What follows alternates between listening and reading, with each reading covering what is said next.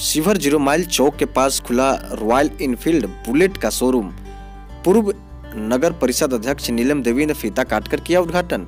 मौके पर उनके पुत्र वर्तमान नगर परिषद के अध्यक्ष अंशुमान नंदन सिंह क्रिस नंदन सिंह प्रशांत, पार्षद रामू सिंह, अजब लाल चौधरी समेत काफ़ी संख्या में लोग मौजूद थे।